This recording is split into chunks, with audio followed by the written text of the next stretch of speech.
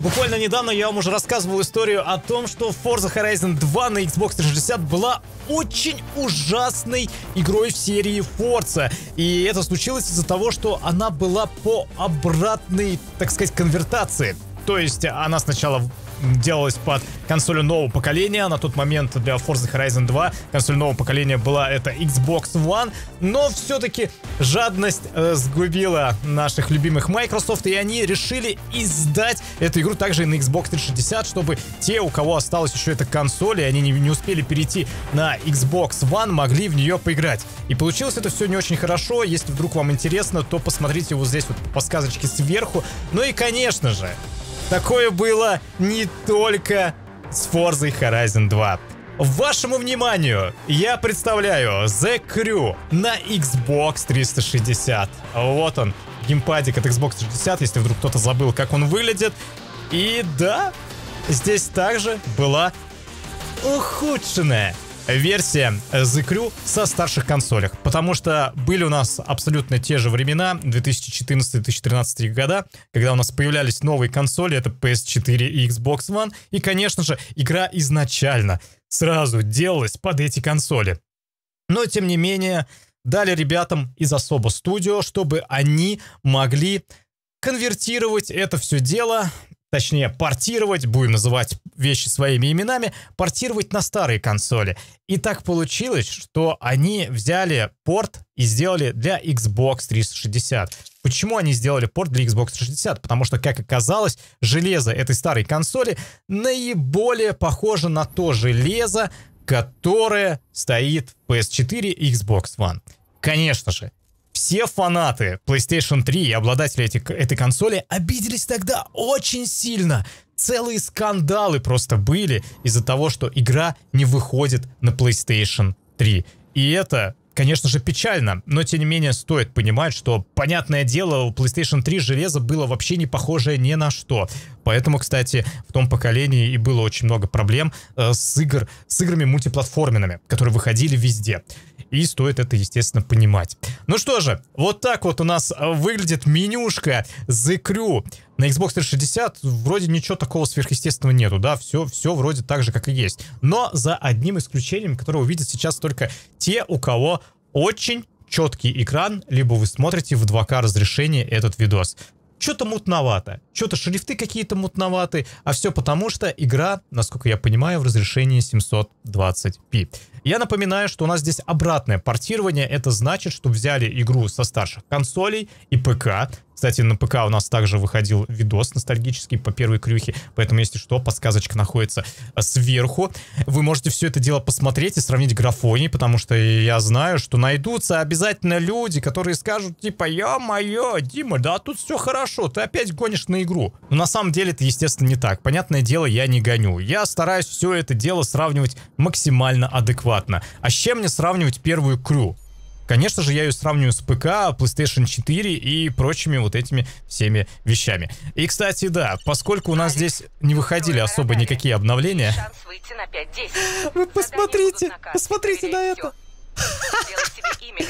Что с ней, Зои? Что с тобой? Ты почему такая некрасивая? Что с тобой случилось? А Офигеть! Офигеть, Зои! Зои! Блин! Хочется сказать братуха, но нет, сеструха, сеструха, что с тобой случилось? Это просто жесть! Это просто жесть. Но на самом деле вы сразу же видите всю эту плачевную ситуацию, да, что у нас здесь происходит. А графончик, конечно, капец. А вот трой почему-то не трехмерный. Посмотрите. Особого клиента? Угу. Хочешь подкупить судью? Ну, что-то типа того. Да, очень странно. То есть, ну, как вы понимаете, занималась вообще портированием другая студия, и они делали все, что могли. Все, что могли, делали, чтобы эта игра все-таки вышла на Xbox 360.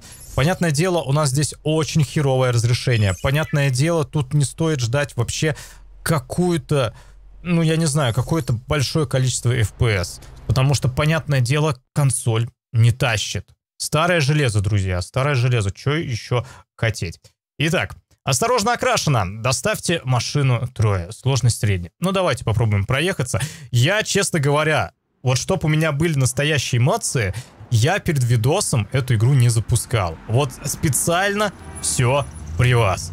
Чтобы вы видели мои эмоции, чтобы сами вот тоже но я даже не могу назвать это наслаждались геймплеем, чтобы просто вы смотрели на него и ужасались. Опять же, я напоминаю, сверху была подсказочка, если вы вдруг забыли, как игра выглядит на ПК, и я могу сказать сразу, что плюс-минус также она выглядит на PS4 и на Xbox 360, потому что портировали ее тогда на новое поколение консолей и на ПК очень даже неплохо. Но вот на Xbox 60 как-то вот так вот. И в принципе, знаете, если сравнивать ее с э, портом от... Ё-моё. Ё-моё. Тут на самом деле главная проблема, что игра что-то подлагивает, подтормаживает. И вот это разрешение, ну это просто капец. Я бы даже не назвал это 720p, это какое-то это как будто 480p просто. Вот посмотрите на эту пикселизацию. Только посмотрите на эти пиксели, которые, не знаю, размером с палец мой. Это просто жесть. Никаких размытий, никаких эффектов. Вообще ничего нету. И даже такое ощущение, как будто звуки немножко запаздывают. А запаздывают они вот именно из-за того, что игра как бы чувствует себя не очень хорошо. И я считаю реально героями тех, кто эту игру прошли на 360 боксе. Ну, потому что вы только посмотрите на то, как игра здесь работает. Ну, это просто жесть какая-то, и мне нужно еще и не разбить машину, потому что здесь у нас доставка от автотранспорта. Доставочка. Очень хорошая доставочка с 25 FPS, потому что где-то столько FPS я здесь и вижу. Это просто жесть. Это просто жесть. Я стараюсь ехать сейчас аккуратно, как могу, но я при этом понимаю, что, ну, как бы, блин, это максимум, что я здесь могу развить. Хотя вот в некоторые моменты Ах ты ж, блин, ну что это за подстава такая была? Да, я понимаю, что осталось чуть-чуть, но что-то... Мне вот с таким количеством FPS, братан, не очень хорошо ехать. Осталось 30 секунд, и мы приезжаем все-таки на финиш. Я как-то умудрился доставить эту тачку и даже ее не разбил. О, ну, друзья, Сами все видите, сами все видите. Также могу сказать, что, насколько я помню, это не точная информация. Кто играл на Xbox 360, пожалуйста, расскажите мне. Кстати, где звуки? Звуков почему-то нету они резко исчезли. И мне не кажется, что это глюк моей э, карты захвата, да, потому что, потому что они просто просрали звуки. Кайф. Кайф. Просто кайф. Так, значит, о чем я говорил? Насколько я помню, здесь у нас еще и не выходили а, а, все DLC, потому что помните, что одно из самых масштабных последних DLC, которое у нас выходило на The Crew, это был Calling All Units, где можно было кататься на коповских автомобилях. И насколько я помню, Calling All Units вроде как не выходил у нас на Xbox 360. Окей, да. Скоро под, ним будет весь чертов штат. Вообще, в целом, если так говорить, ну, насколько вы понимаете, это самая первая версия The Crew без обновлений вообще каких-либо. Э, и поэтому у нас здесь старая карта, старый тахометр-спидометр, поэтому все как-то так. Меню при этом у нас абсолютно такое же вызова гаража и всего вот этого остального. И карта. И даже переход в карту вы не поверите, но его постарались сделать таким же, как на старших версиях консоли и вообще на старшей игре. Да, подглючивает, да, тормозит. Посмотрите, сколько FPS карта пытается мне показать. Это просто жесть. Она еле прогружается, она еле работает. Ей реально, блин, плохо. Но тем не менее, тем не менее, игра хоть старается как-то вот, как-то работать, как-то быть, как-то жить. Поэтому сейчас попробуем съездить хоть в какую-нибудь уже гоночку и посмотрим, что это и как. А здесь у меня самое начало игры. Вот мы только в Детройте находимся. Я вот только-только, получается, прошел там первую миссию. Давайте даже вот гараж сейчас откроем. Гараж, откройся, пожалуйста. Как игра долго прогружается. Это просто жесть. Гараж. Умоляю, откройся. Я, я реально сейчас 3 или 4 раза просто нажал, чтобы у меня гараж открылся. Так, и давайте в мобильный гараж зайдем. Что у нас здесь? У нас есть Dodge Challenger SRT и Dodge Viper SRT 10 Coupe. Давайте просто посмотрим, как у нас быстро переключается на эти машины. Загрузочка. И смотрите, на удивление быстро все переключилось. Но графоний, конечно, просто. Отражения покинули чат, и только что у нас две одинаковые машины проехали прям сразу вот здесь вот в трафике. Весело. Но больше всего весело вызывается гараж. Это просто капец. Я реально нажимаю на кнопку старт, и через некоторое время гараж появляется. Смотрите. Давайте я вам сейчас даже покажу. Вот сейчас, вот кнопочка, нажимаю. Видели сколько? Где-то полторы секунды проходит, и только гараж появляется. Еще разочек для тех, кто не увидел. Опять, смотрите, прям поближе вам покажу. Вот. Нажал. ну, где-то почти секунда-полторы проходит, и тогда только мобильный гараж открывается. Да, работает это все у нас просто потрясающе. Зачем они делали этот порт, я не понимаю. Ну как, на самом деле я понимаю. Они это делали для того, чтобы собрать немножко бабла, потому что, ну, на новые консоли не очень все охотно переходили, поэтому... Понятное дело, что было бы неплохо сделать версию игры и, так сказать, ну, для своих фанатов, которые еще не успели приобрести новые консоли. Но фишка в том, что в те года эти новые консоли хотя бы продавались. Сейчас такого не происходит. И черт возьми, ну что с количеством FPS? Ну это просто жесть, ребят. Я не могу. Это капец какой-то. Давай, вытряси из этих прилов все до последнего бакса. Радует на самом деле еще то, что здесь у нас абсолютно все те же самые гонки. Сюжетная линия та же самая, она не порезанная. И, в принципе, да, такая же ситуация у нас была и в Forza Horizon 2. Там тоже как бы сюжетная линия не порезана. Но там была проблема в виде того, что вот эти вот заставки нам со старшей версии консоли показывали. И, ну, было куча всего, чего они все-таки повырезали. А здесь же... Ой, ё-моё, ё-моё, а у нас тут физончик почему-то... Физончик-то остался таким же, а FPS-то не такой же, чтобы я нормально управлялся с автомобилем. Вот это, конечно, печально немножко ситуевина, и мы просто на этом скаю улетели. Да-да-да, нам, конечно же, тут объясняют, что и как. И самое приятное, что есть русская озвучка. Да, конечно же, в Forza Horizon 2, когда я там говорил про 360-версию, там тоже была русская озвучка, но вы сами видели, что она такая 50 на 50, то есть где-то была, где-то не была. Здесь же у нас все отлично переведено, то есть, ну, Ubisoft, они вообще на самом деле молодцы, что они все время работают над субтитрами, над всеми вот этими вещами, и спокойно потом можно хотя бы не обладая какими-то широкими знаниями английского языка, спокойно все это играть и проходить. Хотя бы вот это приятно, это уже радует. И черт возьми, я тут что, первым сейчас не приеду? Там что-то... Первое место вообще улетел. Так, пользуемся сокращалками. Сбиваем заборы. Конечно же, радует, что здесь хотя бы физика вот это объектов, она не понерфлена. И мы можем спокойно сносить заборы и ломать все вот это вот перед нами здесь, и, конечно же, влетать вот в эти все заборы. Но, конечно же, все-таки физика автомобилей немножечко другая. Не смогли они перенести абсолютно все так, как у нас на старших версиях.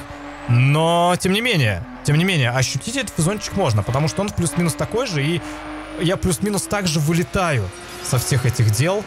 Так, вот это вот было стрёмно сейчас. Так, ну что, у нас там уже финиш, я так понимаю, что я не приеду на первое место. Давай, жми на газ, неужели я сейчас просру? Ну, ну ладно тебе, ну серьезно, задание провалено, вы не достигли цели. Ладно, сейчас пройдем это заново, ничего страшного. Я там просто сначала из-за падения FPS словил косяки и улетел. Но сейчас, я надеюсь, все у нас будет. Блин, как меня эти шрифты радуют. Просто низкополигонально. И опять FPS ушел куда-то в освояси. Я вам сразу могу сказать, что вы не так сильно вот эту закономерность в FPS будете видеть, потому что ролики я рендерю всегда в 60 кадров. Но поверьте, сама игра идет в тридцатке, причем эта тридцатка постоянно дропается. Но опять же, кто очень FPS зависимый, например, как я, то есть мне чем больше FPS, тем лучше. Я, конечно же, могу и в тридцатке играть, и в 60. 60 для меня максимально комфортно, тем более, если это стабильные 60 кадров. Ну, конечно же, лучше, когда у тебя стабильная сотка, там стабильные 140. Для гонок, я считаю, такое количество FPS просто идеальное. Ну и как бы для всех игр, там, понятно, 100 плюс FPS, это всегда очень круто. Но здесь, друзья, даже той же стабильной тридцатки, которая, в принципе, ну, была во многих гоночных играх, того времени, даже на том же Xbox 360 и на той же PlayStation 3, здесь, как видите, к сожалению, нету. Ну, надеюсь, что вы это видите. Но опять же, опять же, для тех, у кого не было Xbox One, или хорошего какого-то ПК, то вот эта версия, ну она прям как спасительный круг на самом деле. Если очень хотелось поездить по этой обширной карте, погонять э, в эти гонки, то почему бы и нет? Очень все прикольно, в принципе, сделано. Да, графон хуже, да, все графически у нас тут порезано, это все понятное дело. Но черт возьми-то, все остальное все так же осталось. То есть у нас такой же открытый мир, у нас те же самые машины есть, у нас тот же самый тюнинг есть. Все есть. Это шикарно. Но только графика, конечно, пережата просто нереально. И я так понимаю, это сделано не из-за того, что даже, ну, наверное, стоит так думать. Это сделано не из-за того, что настолько слабая консоль. Это сделано из-за того, что у Особо Studios не было времени на полировку а, данного порта, и из-за этого они просто из-за неимения времени все максимально занизили, все графические настройки и разрешение игры, чтобы это, ну, нормально, адекватно работало. Но, как видите, нормально, адекватно работать это все равно не смогло, но хотя бы хоть как-то так. Но это очень забавно, ребят. Это просто очень забавно. И забавно, что нету, блин, звуков. Ну почему нету звуков зарабатывания уровня, когда нам дают награды? Почему этих звуков нету? И почему я сейчас прошел только на серебро? Вот. Это, знаете, вот на первых версиях закрю такая тема была. Просто нужно было мега идеально ехать, чтобы заработать золотую деталь. О платиновых деталях вообще даже речи не шло, потому что это была просто бесповоротная жесть. Это было просто нереально. Но, как я уже до этого 10 раз говорил, сюжет тот же, все тот же. И самое главное, что мы можем также путешествовать по карте. Поэтому сейчас давайте это сделаем и посмотрим на самые большие и требовательные города Крюхи. Я все так же напоминаю, чтобы путешествовать в первой части Крюхи, нам нужно было открывать карту, либо мы ездим на своем автомобиле, либо мы путешествуем при помощи определенных возможностей, которые нам дает игра. В данном случае это самолет и, конечно же, железная дорога. Вот, например, сейчас приедем на вокзал Детройта и давайте посмотрим, куда мы можем уехать. Но я думаю взять что-нибудь либо Лас-Вегас, либо что-нибудь такое, где у нас есть железная дорога и где более-менее большой город, чтобы мы могли полностью насладиться тем графоном, который у нас есть в Xbox 360 версии. И как же долго здесь все прогружается, ребята! Чтобы вы понимали, я без читов, без ничего. То есть я специально запустил игру с диска, и она сейчас работает именно с диска. На жесткий диск консоли самой я эту игру не ставил. То есть все работает именно так, как оно и должно было работать. Итак, э, в Лас-Вегас можем мы, в принципе, телепортироваться. Вот, либо в Лос-Анджелес. Э, но я, наверное, думаю, давайте лучше в Лос-Анджелес, потому что во второй крюхе мы прекрасно знаем Лос-Анджелес и его округу. Заодно сейчас сразу же посмотрим, вот так вот, как сказать, на свежую память, как у нас все это будет выглядеть. Очень, очень долгие прогрузки, ребят, просто нереальные. Вот я сейчас где-то минуту-полторы ждал, когда у нас все это прогрузится, и когда мы уже сможем переместиться в нашу Лос-Анджелесскую локацию, друзья, принимайте. Принимайте нашу локацию отражений, никаких от стекол, ё-моё, и как жестко проседают FPS. Да, все-таки в городе, конечно, игра себя чувствует не очень хорошо. Я даже не знаю, давайте еще потрогаю консоль, она рядышком у меня здесь стоит, и мне очень интересно посмотреть, насколько сильно она нагрелась. Но знаете, на удивление, она сейчас не пылает просто жаром, но вентилятор крутится достаточно уверенно, достаточно хорошо и на нормальном таком количестве оборотов. Черт возьми, я просто не понимаю. Блин, у меня уже фразы просто повторяются. Я не понимаю, зачем это нужно было делать. Опять же, повторяюсь, я понимаю для заработка денег. Но ведь люди, когда купят, они увидят вот этот вот графон. И им станет хреново от того, что все так плохо. Опять же, вы скажете, Димон, ну ладно, ну, ну что ты придираешься? Ну типа консолька старая, тут игра новая. Понятное дело, что не могли они тебе сделать какую-то мега крутую графику. Ну, черт возьми. Ребят, мега крутая графика. Посмотрите на Xbox 360 версию. Не просто какой-то там игры, взятой от других разработчиков, а взятой от тех же Ubisoft. И это, черт возьми, драйвер Сан-Франциско. Вот просто идеальная игрушка, которую можно приводить пример вообще всего. Там хороший открытый мир. Там есть у нас даже Вид от первого лица. Как вы могли заметить, вида от первого лица здесь нету. Вот я сейчас переключаю. Его убрали. Его убрали, потому что его нужно делать. Вам нужно прорисовывать ав салоны автомобилей. А особо Studios не хотели этого делать, потому что, как я сказал, времени было немного. Игру нужно было выпускать в релиз. Поэтому как-то вот так все и получилось, что максимально халтурненько ко всему этому отнеслись. Максимально халтурненько все это сделали, да. Перенесли все как смогли. Посмотрите на этот магазин. Просто посмотрите на него. Из чего он, блин, сделан? Из потерянной текстуры? У меня просто слов нет. Ну вы гляньте вот на это. Что это такое? Что с магазином? Это он типа покрашен? Это типа покрашен так кирпич? А почему он здесь выглядит так, как будто у него текстуры вообще нету? Я просто охреневаю. Ну и, конечно же, наверное, самые внимательные успели заметить, чего-то в городе не хватает, да? Вот как вы думаете, чего в городе не хватает? Это, знаете, это прям дух НФС на самом деле такой, если подумать. Да, я думаю, самые зрячие, самые внимательные не увидели, что у нас также здесь еще и отсутствуют пешеходы. Их также убрали, потому что консолька не тянула.